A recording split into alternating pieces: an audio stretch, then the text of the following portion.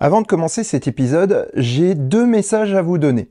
Le premier du Tesla Owner Club France, qui inaugure le superchargeur de Strasbourg-Nord, situé à Shopping Promenade à Reichstätt. Cela commencera à 10h et je serai présent. Si vous voulez discuter avec moi, n'hésitez pas à venir à l'inauguration. Deuxièmement, ACC Shop a commencé les soldes d'hiver. N'hésitez pas à consulter le site et à commander de ma part.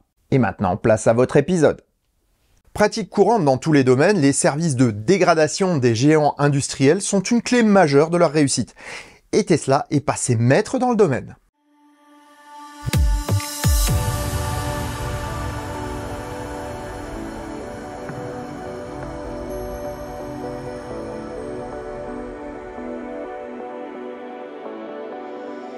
Si ça te plaît, mets un pouce vers le haut et commente. Si ça te plaît beaucoup, abonne-toi. Et si ça te plaît vraiment beaucoup, dis-le partout. Merci. Le 8 janvier 2023, le compte Twitter ZevCentric publie un tweet présentant les freins arrière de la nouvelle Tesla Model Y Performance qu'ils viennent de réceptionner. Déjà informés par d'autres propriétaires, ils ont démonté une roue afin de voir de quels freins sont équipés la voiture. Et là, surprise, il s'agit de freins de la version long range peints en rouge avec une plaquette fixée dessus, et non plus de vrais étriers Brembo comme au départ. Dégrader un produit est une pratique courante et cela se fait partout. Ce sont les services qualité qui sont généralement en charge de cette tâche pour chasser les coûts et la surqualité.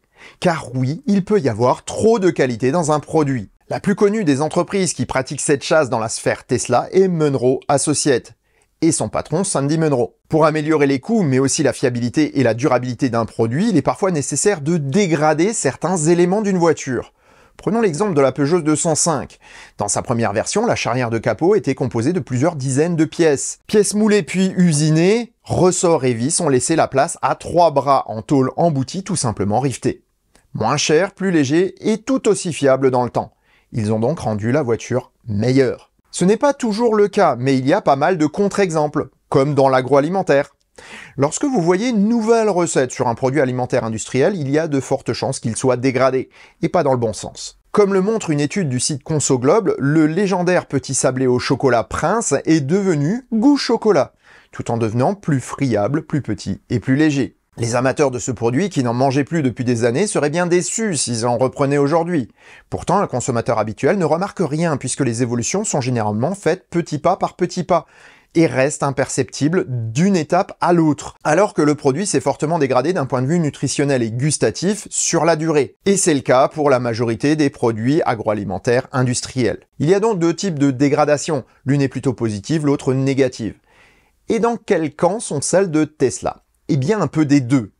Prenons le cas de la Model S.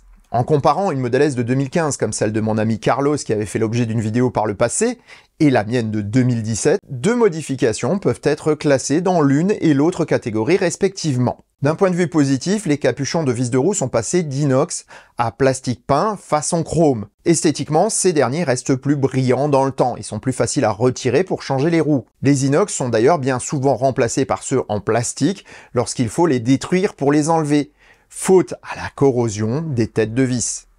Dans le frunk, par contre, c'est l'isolant sous capot qui a disparu, et cette suppression est plutôt négative. Elle n'a pas d'incidence sur la conduite, mais génère quelques désagréments, comme une isolation thermique du coffre avant, qui peut être préjudiciable à son contenu.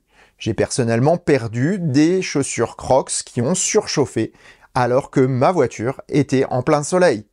Et il m'arrive parfois d'avoir des objets qui cliquettent contre la tôle du capot si le frunk est bien plein. Des exemples comme ça, on peut en trouver des centaines dans les Tesla, mais aussi chez les autres constructeurs. Skoda a par exemple supprimé les miroirs asphériques des rétroviseurs extérieurs de l'Octavia en 2012, pour les remplacer par une glace simple sans en informer ses clients ou baisser ses prix bien entendu. Pour en revenir à notre info de départ, voyons ce qui peut avoir motivé Tesla à dégrader son produit.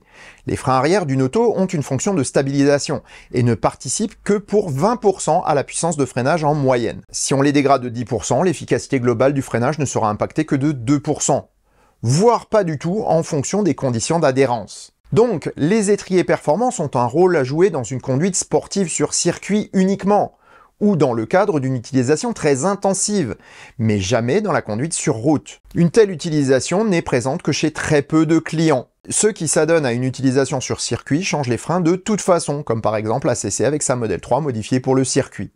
En conséquence, une telle modification n'a pas d'impact négatif sur l'utilisation des produits, même si le client se sent un peu floué.